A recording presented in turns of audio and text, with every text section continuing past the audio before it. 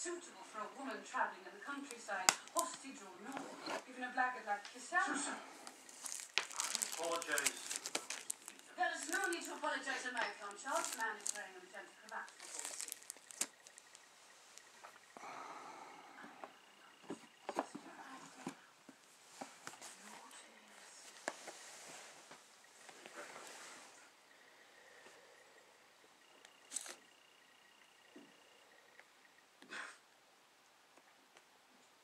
Joy, should follow her. Make sure she doesn't sing up in the windows.